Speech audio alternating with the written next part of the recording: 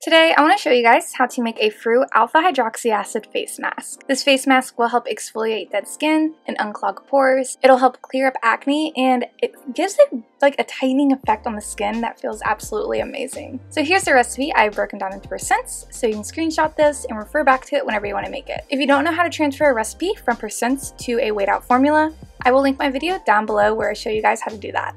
Anyways, let's just get into the recipe. So first off, you want a digital scale that weighs to 0.01 grams, and then a heat-safe container to weigh your water phase out in.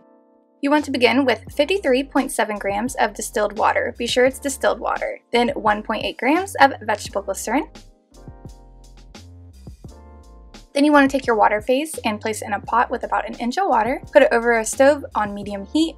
Heat it to 158 degrees Fahrenheit and hold it there for 20 minutes to sterilize all your ingredients. It's also a smart idea to take a piece of aluminum foil and place it over top of your beaker to help eliminate any water from evaporating and to make sure nothing falls into your formulation.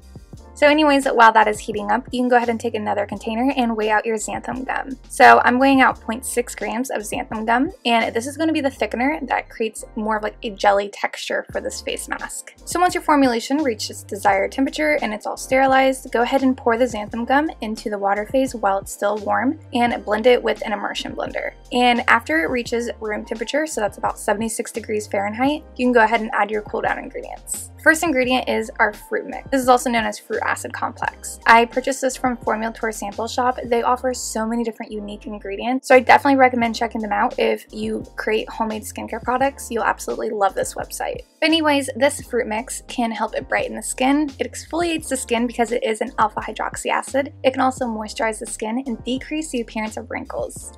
So this ingredient is amazing and I think anybody can benefit from this ingredient. So this ingredient's suggested use levels is between 1% to 10%. So we're going to be using this at 5%, which is 3 grams. As you get used to it, you can up the percentage. Then you want to mix the fruit acid in with the rest of the ingredients. What we're going to be doing next is taking the pH level. So I just want to make sure the fruit acid didn't bring the pH down too low because some alpha hydroxy acids are known to do that. I also want to make sure the pH level is below 6 because our preservative we are using, it has to be below 6 for it to be active. And our pH is about 4.28, so it's perfectly fine. So now we can move on to our preservative, which is Optiphen Plus. And like I said, it is mostly active in pHs below 6. It can work in pHs above 6, but it works best below 6. And I purchased this preservative from Formulator Sample Shop as well. Like I said, they have amazing ingredients. I definitely recommend checking them out. I will have them linked down in the description box along with all the other ingredients I used in this recipe. So I used 0.9 grams of the Optiphen Plus and then mixed everything in one last time.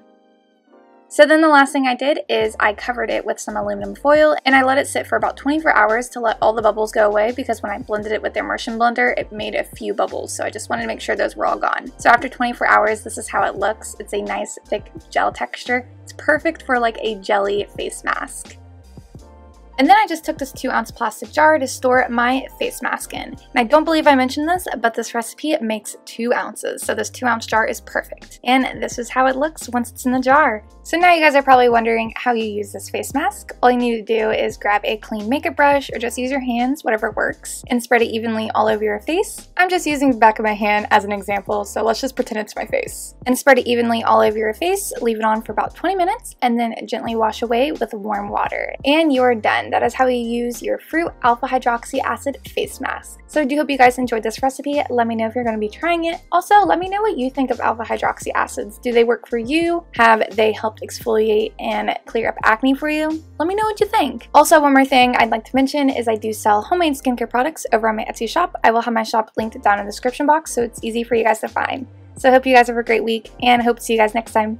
Bye.